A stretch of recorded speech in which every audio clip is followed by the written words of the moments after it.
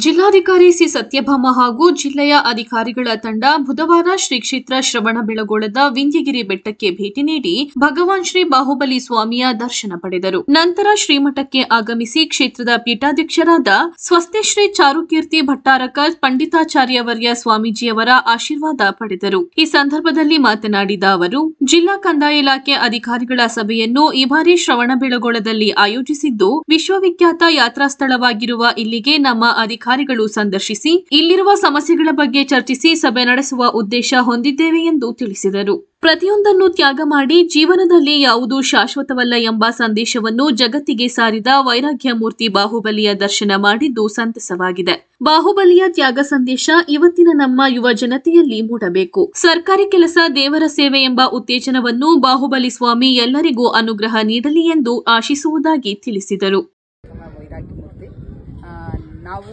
ಎಲ್ಲ ಯಂಗ್ಸ್ಟರ್ಸ್ ಇದ್ದೀವಿ.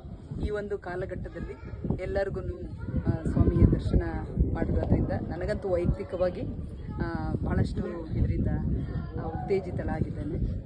ನನಗೆ ಮೊದಲು ನಾನು ತುಂಬ ಸಣ್ಣದರ ಸಣ್ಣ ನಾವು ಇದನ್ನು ಎಲ್ಲ ಮಾಡಿದ್ವಿ ಆ ಸಂದರ್ಭದಲ್ಲಿ ನಮಗೆ ಎಲ್ಲರೂ ತಿಳುವಳಿಕೆ ಇರಲಿಲ್ಲ. ಸ್ವಾಮಿಯ ದರ್ಶನ ಈಗ ವೈಯಕ್ತಿಕವಾಗಿ ತುಂಬಿಕೊಂಡು ಭಾಳಷ್ಟು ಭಾವಿಸ್ತೇನೆ ಉತ್ತೇಜಿತಳಾಗಿ ಆಮೇಲೆ ನಮ್ಮೆಲ್ಲ ಅಧಿಕಾರಿಗಳು ನನಗೆ ಮೊದಲು ಸರ್ಕಾರಿ ಸೇವೆ ಸಣ್ಣದರ ದೇವರ ಸೇವೆ ಸರ್ಕಾರದ ಮಾಡಿದ್ವಿ.